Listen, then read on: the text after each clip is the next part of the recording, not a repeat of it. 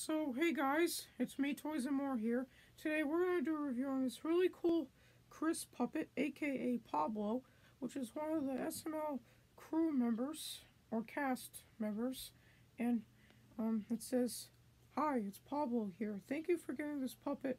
The endless support you give to all of us at SML means a lot. Here it is, right here.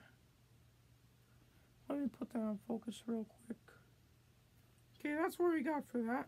Now let's open this up and see what it looks like when we take it out. And um, it comes in this green bag, which is kind of cool.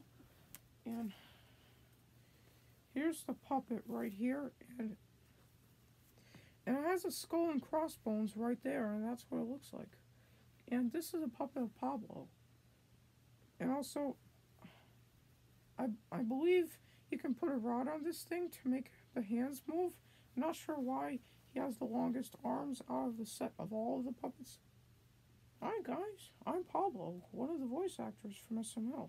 And I do the voice of the voice of Cody, I do the voice of Brooklyn Guy, I do the voice of the Lone Dolphin, and many more different characters. And also, yeah, and we also got the cool black pants here, and we got the blue shoes right here. It looks a lot like Jeffy's shoes from Evelinka Puppets, which is kind of crazy actually. And he has the longest legs of the crew too, not just longest arms. And here's the back over here. And uh, this is the beard he has right there. And that's pretty much all we got for this puppet, so please subscribe for more content.